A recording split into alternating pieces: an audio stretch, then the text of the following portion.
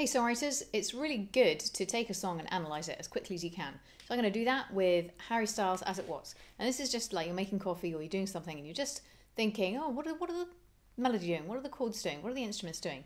And it, it just trains you to become super aware of those things. So chords, we have the same chords going all the way through. B minor, E, A, D. Broadly speaking, in the key of A, but the A chord is not the one we begin or end on. So that kind of gives it a lot of movement.